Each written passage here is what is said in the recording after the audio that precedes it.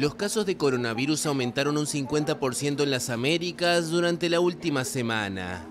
Eso informó el miércoles la Organización Panamericana de la Salud, que también alertó que las muertes asociadas al virus subieron un 11%. Entre el 19 y el 25 de diciembre, más de la mitad de los países registraron un incremento de contagios superior al 20% en la región, que ha sido donde más han aumentado en todo el mundo. El mayor número de casos se ha producido en Estados Unidos, seguido de Canadá y Argentina.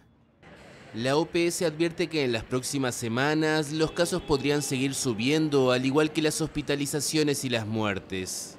Argumenta que el coronavirus circula más y que hay un mayor contacto personal debido a la temporada de fiestas y vacaciones, pero sobre todo que la altamente contagiosa variante Omicron se ha registrado en más de una veintena de países y territorios de la región.